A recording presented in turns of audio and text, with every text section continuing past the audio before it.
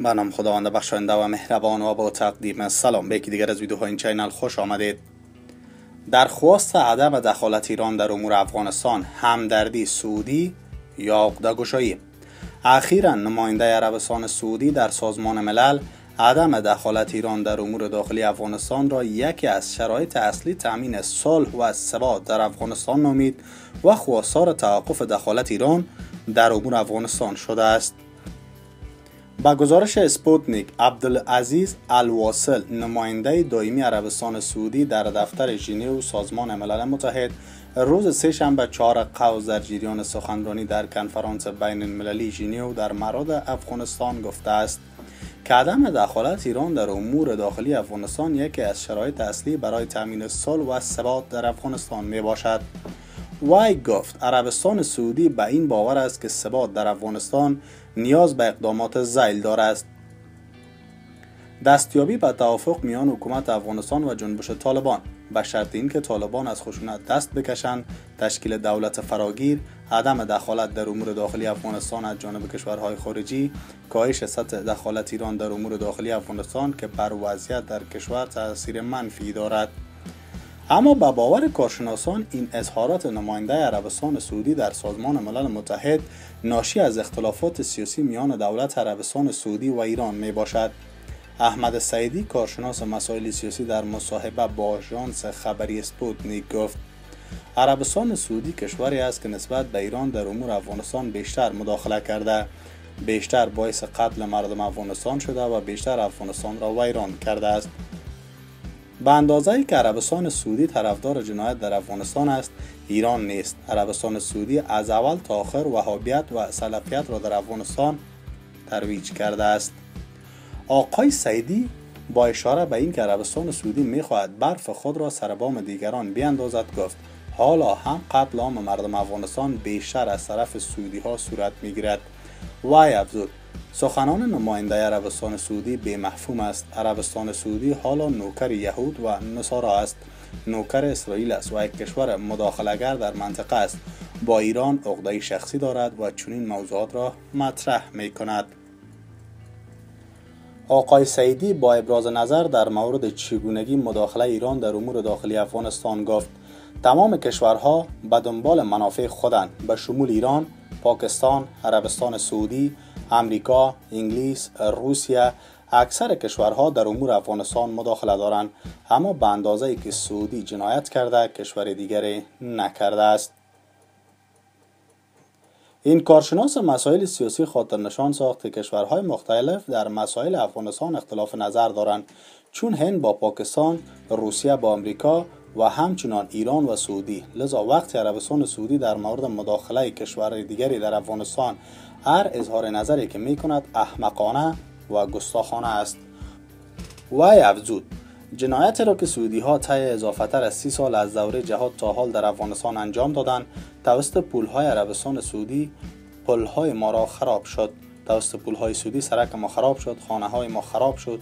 سعودی ها جنایتکارند من حتی به این عقیده هستم که شیخ های سعودی مسلمان هم نیستند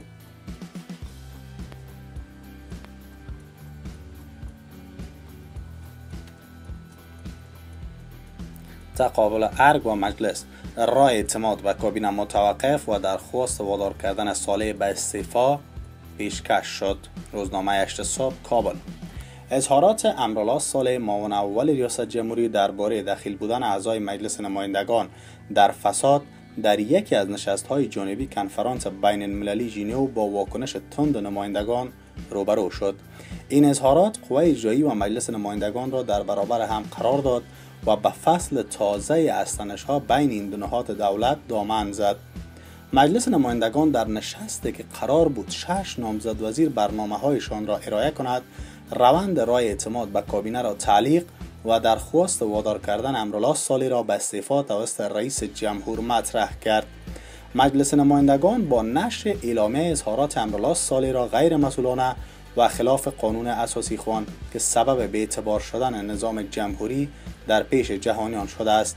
طبق این اعلامیه معاونان رئیس جمهور هرچند جایگاه واضح در قانون اساسی ندارند اما تمام ماده هایی که با وظایف رئیس جمهور مشخص کرده است درباره معاونانش نیز صدق می کند میر رحمان رحمانی رئیس مجلس نمایندگان گفت که روند رای اعتماد به نامزد وزیران باقی مانده تا ارائه اسناد از سوی امرالله صالح درباره دست داشتن نمایندگان به فساد متوقف می شود و همچنان مجلس به صورت رسمی به نهادهای عدلی و قضایی از صالح شکایت می کند رئیس مجلس نمایندگان در جریان نشست عمومی روز سه شنبه چهارم قوس گفت که امرالله صالح در جای گفته است رای اعتماد که به ده عضو کابینه داده شده است مدار اعتبار نیست زیرا افراد فاسد به این وزیران رای دادند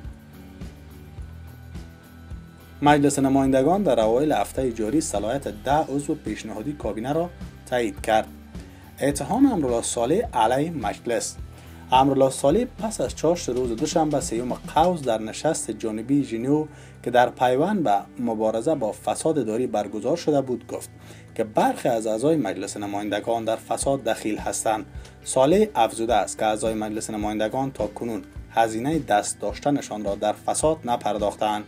معاون اول ریاست جمهوری اتهام وارد کرد که مجلس نمایندگان اعضای کابینه را می ترسانند و خواستهای غیر قانونی را مطرح می کنند طبق اعلامیه مجلس نمایندگان سالی در این نشست گفته است نمایندگان در انگام تهیه سند بودجه برای تحمیل خواستهایشان بر وزیران فشار می آورند و باید به مسئولیت پارلمانی نمایندگان پایان داده شود. تا قانون بر آنها اجرا گردد در این اعلامیه از رئیس جمهور غنی خواسته شده است که برای بازگرداندن اعتبار مجلس نمایندگان و استحکام نظام امرالله سالی را وادار به استعفا کنند. در اعلامیه هشدار داده شده است که اگر به این درخواست پاسخ دادن نشود حکم ماده 69 قانون اساسی اجرا خواهد شد. در این ماده انفصال و ازل رئیس جمهور از وظیفه پیش بینی شده است. قرار بود که برنامه های کاری حسین صافی سرپرست وزارت زنان قدرت الله زکی سرپرست وزارت ترانسپورت نجیب الله یمین سرپرست وزارت فواید عامه نوررحمان اخلاقی سرپرست وزارت مهاجرین و عودت کنندگان محمود کرزی سرپرست وزارت شهرسازی و عراضی و محمد آرون چغانزوری سرپرست وزارت معادن و پترولیم در نشست روز سه شنبه چهارم قوس ارائه شود. این نشست اما به صحنه انتقاد از امرالله صالح بدل شد. بسیاری از نمایندگان سخنان او را خلاف روحیه همکاری بین دو قوای دولت عنوان کردند. برخی هم اظهارات امرالله صالح را به دلیل اینکه دامن خانه ملت را به فساد آلوده نگاشته است خیانت ملی توصیف کردند. نمایندگان طرح وادار کردن امرالله صالح به استعفا و شکایت از او در دادگاه را نیز مطرح کردند. مجلس نمایندگان حکومت را عامل فساد عنوان کرد. سپاس از اینکه با ما بوده تا ویدیوی دیگر. Bedurut.